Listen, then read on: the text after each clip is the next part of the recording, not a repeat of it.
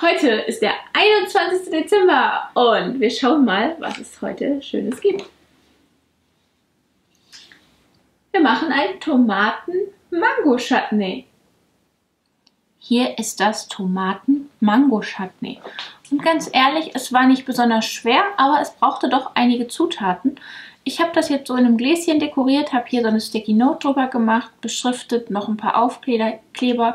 Das ist hier Santa is Coming draufgeklebt. Ihr könnt natürlich nehmen, was ihr wollt. Ich habe hier so einen kleinen Tag genommen und ähm, das ein bisschen dekoriert. Könnt ihr natürlich machen, wie ihr wollt. Für mich ist das ein kleines Weihnachtsgeschenk, deswegen habe ich gedacht, das ist ganz hübsch so. Ja, ich mache das mal auf, damit ihr reinschauen könnt.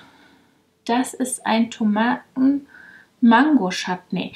Ja, und wie der Name schon sagt, es besteht aus Tomaten und Mango, aus Obstessig, Zucker, viele verschiedene Gewürze von Curry über ähm, Zimt und Knoblauch.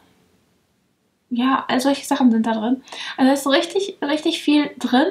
Verschiedene Sachen. Das alles habe ich köcheln lassen und schließlich püriert mit so einem Pürierstab und dann in Gläschen abgefüllt. Also ist nicht besonders schwer zu machen. Letztendlich schmeißt man alles zusammen, lässt es ein bisschen kochen, püriert das Ganze und füllt es in Gläschen ab. Das meiste davon habt ihr zu Hause.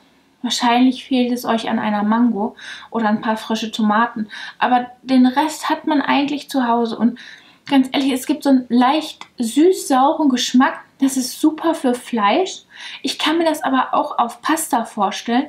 Also einfach mal ausprobieren. Ist richtig, richtig lecker. Und Rezept gibt es wie immer unterm Video. Draufklicken und von unserer Webseite runterladen. In Filofax-Größe natürlich. Könnt ihr ausdrucken und direkt in euren Filofax heften. Ich wünsche euch ganz viel Spaß damit und bis zu Video 22. Ach, Daumen hoch, abonnieren Fertig.